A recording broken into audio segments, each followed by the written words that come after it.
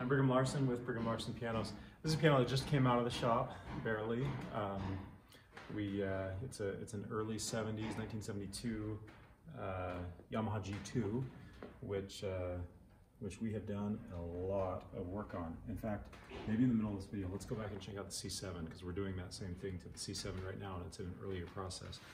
So, um, so what we've done is have a look in there.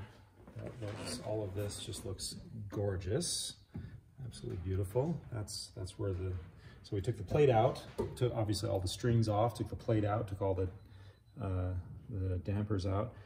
We refinished the soundboard, put on a new um, logo there, Yamaha logo, and uh, put on new felts and new strings, all, all new strings, not just the treble strings, bass strings, all of it. So, and then and the new felt throughout. And then on the on the action, we've reshaped the hammers um, and uh, done a full tightening, lubrication, soda blasted everything, so it's clean, clean, clean. Uh, uh, and then a full regulation so that everything is functioning just as it's supposed to. Let's uh, let's go check out the uh, Yamaha C7 that we're doing, which is the other end of the spectrum. This piano, of course, is five five foot eight, I believe, and C7 is huge. So here is C7. So this is in a um, in an earlier stage, um, or, well, earlier stage than that, but kind of a later stage of the rebuilding. So what we've done here is we have the plate out and uh, same thing, sanded down the soundboard, fixed fixed anything we saw there, um, kind of cleaned up the cleaned up the bridge, made made that beautiful, replaced uh, a lot of parts in there, polished everything up just because it looks good.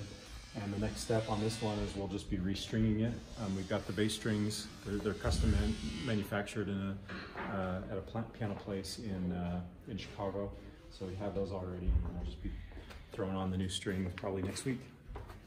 So that kind of gives you an idea of what, uh, the kind of work that we, did on this G2.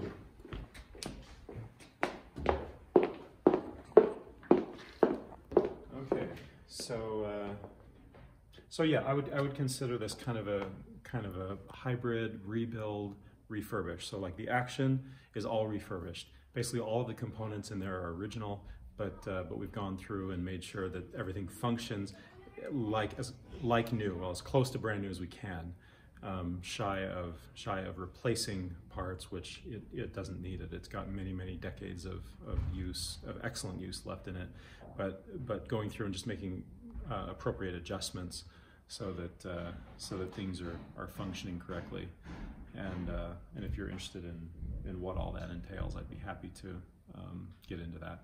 As a general rule, pianos need this kind of service about every 20 to 25 years or so.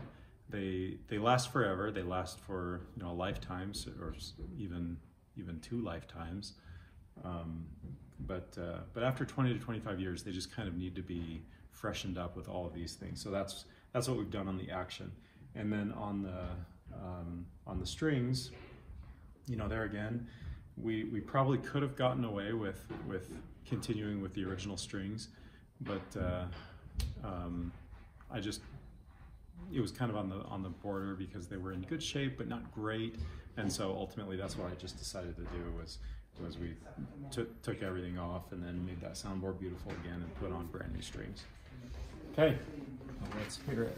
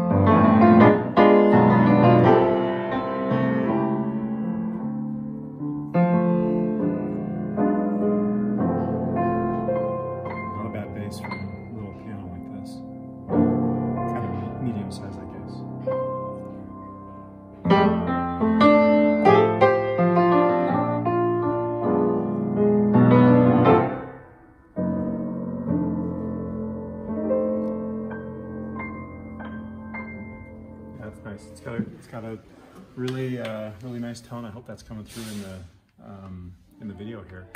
I'm really happy with how that how that all turned out.